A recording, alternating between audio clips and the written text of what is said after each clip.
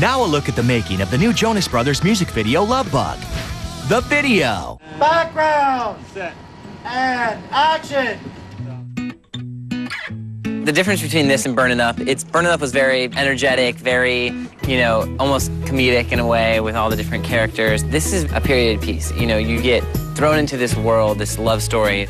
Josh Boswell and Camilla Belle are some amazing actors that we've gotten for this video. Camilla Belle, of course, is like in some movies that we love. To be honest, we all fell in love with her, so we said, why not have her in a music video? And uh, she's doing an incredible job, and she really brings you back to that time era. And Josh Boswell is doing a great job. We saw his video, his audition tape, and we were like, this is the guy. Our director for this video, his name is Philip Andelman. He's very energetic, um, gets really excited about, um, you know, things that happen in the video shoot. Then he gets coffee. It's a whole other ball game.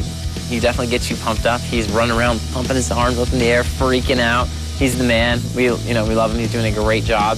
He's really capturing the moments, and it's really amazing being able to look back and see how, like, the camera comes through, the rose petals falling on the dance bandstand night, and then it comes to the to the couple, and the, as they start to kiss, and then you pull away and you see the entire ballroom just dancing. It's just like it was stunning, and you were just blown away completely.